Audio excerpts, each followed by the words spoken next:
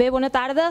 És curiós perquè mentre rumiava que havia de venir aquí a explicar-vos una mica la meva vivència i a parlar de superació personal, realment me'n vaig adonar que potser fent-ho arribaria a superar o a treure'm una espina clavada que des de fa molts anys, tot i que sempre agafi dreceres per no parlar-ne o per dissimular-ho, porto clavada i que realment m'ha condicionat molt en moltes coses que he fet al llarg de la meva vida. No? Així que primer de tot vull, vull donar les gràcies a les persones que m'han invitat a ser aquí avui per donar-me aquesta oportunitat. Bé, els meus pares em van posar uns esquís als peus quan, poc abans de fer els dos anys i sembla ser que m'hi vaig trobar molt bé, ja que aquell joc es va convertir en, més endavant per circumstàncies, bueno, per, gràcies a moltes coses, amb la meva professió, amb la meva passió i realment amb la meva vida, amb la meva forma d'entendre la vida. Per mi no existia res més. Um, jo vaig seguir l'evolució que segueix qualsevol esportista, potser una mica accelerada. Vaig començar entrenant en un club, vaig començar a competir a nivell català, um, a nivell espanyol, amb molts bons resultats. Als 12 anys vaig començar a competir a nivell internacional i als 13 eh, vaig rebre la primera convocatòria per entrar a l'equip nacional d'esquí alpí. Realment no vaig acceptar-ho fins al cap d'un any. Era una decisió realment important, sobretot potser pels pares en aquella època, ja que deixar marxar una noia amb 13-14 anys, 10 anys fora de casa, en aquella època estàvem vivint als, als Alps francesos, allà hi estudiàvem, entrenàvem, competíem, ho fèiem tot, i per mi realment era un gran canvi de, de vida. Ni en aquell moment ni ara penso que vaig sacrificar res, al contrari, ho tornaria a fer sense pensar-m'ho, però evidentment eh, era un canvi molt gran. Allà vaig, em dedicava a competir, a entrenar, van arribar les primeres derrotes, les primeres victòries realment importants i vaig madurar marxes forçades a 800 quilòmetres de casa. Um, disculpeu, és que recordar tot això realment em... Um, bé, al cap d'uns anys d'estar als Alps uh, vam anar cap a Andorra, la federació ens va portar a Andorra, pel mig vaig tenir una lesió greu d'espatlla, però mai em va privar de competir ni d'entrenar al màxim. Durant aquests anys els companys d'equip anaven, canviant, ja que en l'equip nacional només hi ha lloc per, per les millors persones de cada moment.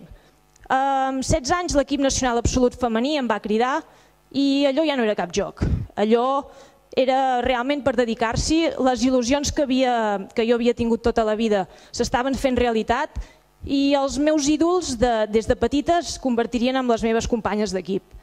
Um, jo potser per la manera que m'han educat o per, o per com sóc, des del primer moment que vaig acceptar entrar a l'equip nacional jo tenia molt clar que em dedicaria a cos i ànima amb allò. Que no, havia deixat, els pares havien fet un gran esforç, jo m'hi dedicava molt i no, no, podia, no podia fallar. Um, a l'equip nacional et l'absolut ja és la teva feina. Et lleves, descanses, entrenes, menges, tot ho fas només pensant en l'esquí, en competir, en ser cada dia millor. Voltes pel món, eh, per tot arreu, només pensant en millorar física i psíquicament i tècnicament, evidentment.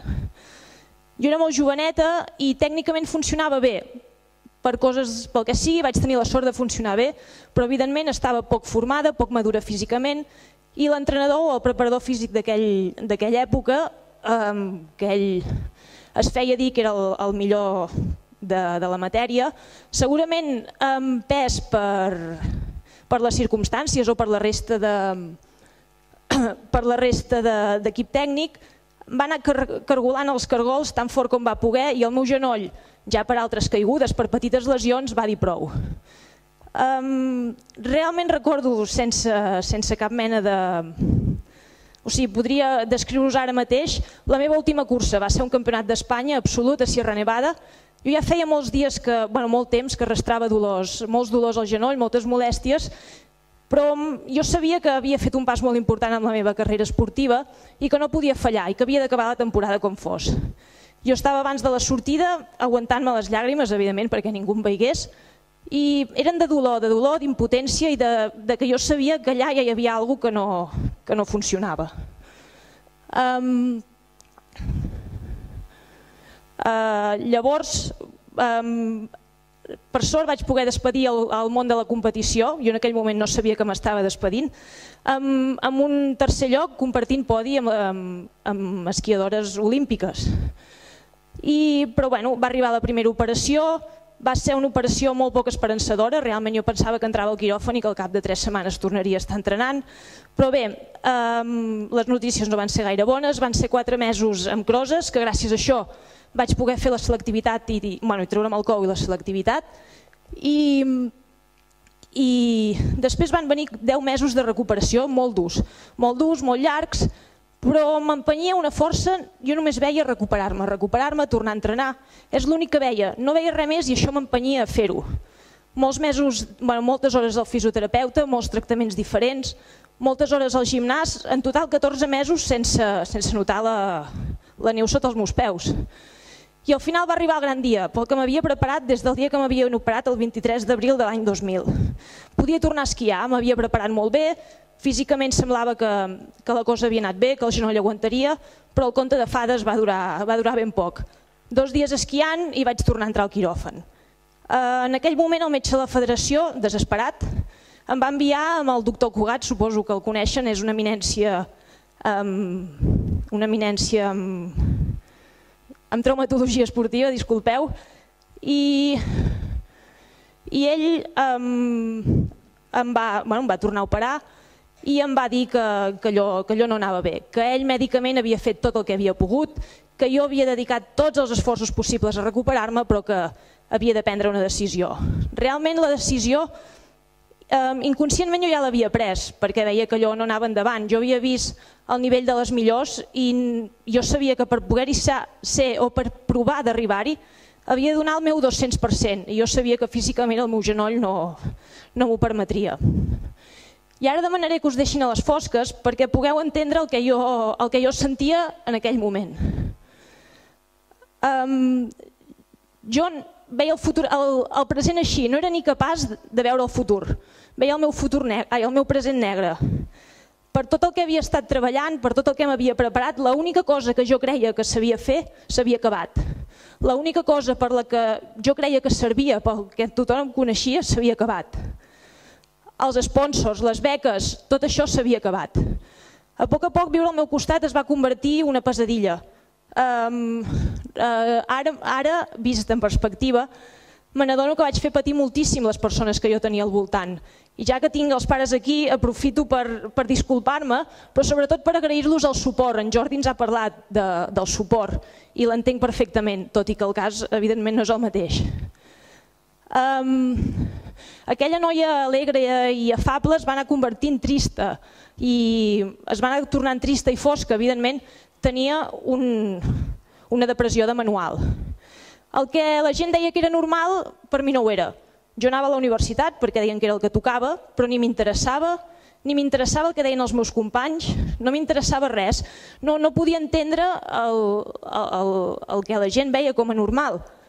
Um, L'únic moment en què jo trobava pau era quan eh, trobava una estona entre classe i classe, si és que anava a classe, um, quan anava a escalar una estona, a caminar, a nedar o a fer alguna cosa que el genoll em, em deixés fer, perquè poques coses podia fer.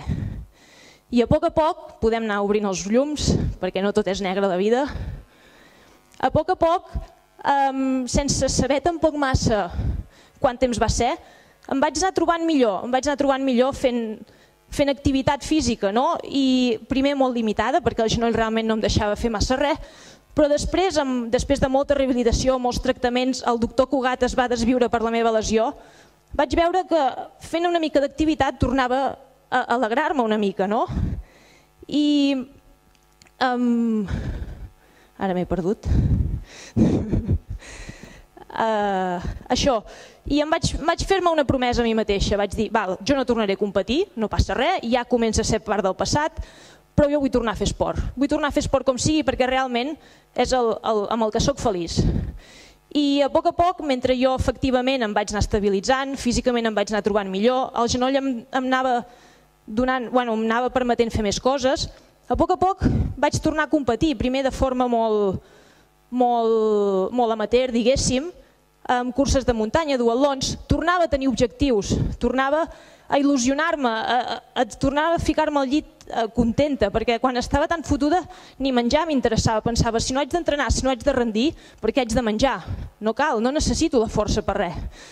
Doncs van tornar a arribar les il·lusions, van tornar a arribar els objectius, i al cap d'uns anys, quan realment ja vaig estar bé, vaig tornar a calçar uns esquís per entrenar, però aquest cop no per anar avall, sinó per anar amunt, com podeu veure aquí. I amb això van tornar els objectius, realment uns objectius molt diferents de fa 10 anys enrere. Evidentment, no tornaré a viure de la competició, ni ho pretenc, ni viure de la competició, ni de l'esport, ni de la muntanya, ni de res d'això. Però sí que m'he adonat que l'esport em dona la força per seguir vivint, per empènyer la vida. Avui us he parlat una mica de la pedra del meu camí, la meva gran pedra. Soc conscient que en trobaré d'altres, i tots en trobem, però també sóc conscient, ho he pres, que trobaré la forma de saltar-la o de vorejar-la. Um, considero que el meu cas no és excepcional, tot el contrari, avui hem vist dos casos molt més excepcionals que els meus, però sí que m'ha ensenyat moltes coses, que la força per viure, per lluitar, la portem tots a dins i l'única cosa que hem de fer és buscar-la o voler trobar-la. Moltes gràcies.